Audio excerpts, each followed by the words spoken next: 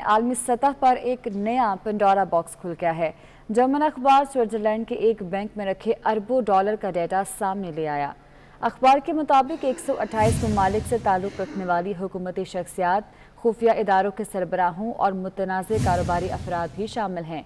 तफसीत के मुताबिक अठारह हज़ार बैंक अकाउंट्स में 100 अरब डॉलर की रकम रखी गई है। इनमें 1940 से 2010 तक के बैंक अकाउंट्स के तफसीत शामिल हैं।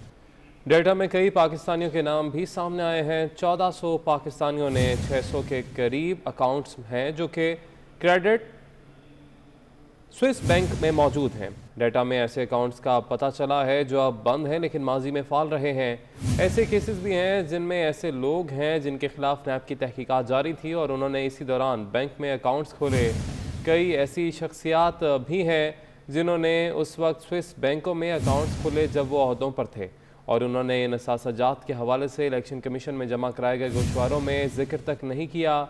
बैंक में औसतन हर पाकिस्तानी के अकाउंट में चौरासी करोड़ तेरह लाख उनतीस हज़ार से जायद पाकिस्तानी रुपए मौजूद हैं।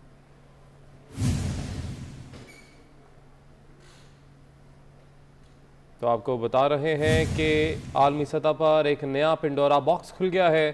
जर्मन अखबार स्विट्ज़रलैंड के एक बैंक में रखे अरबों डॉलर का डाटा सामने ले आया।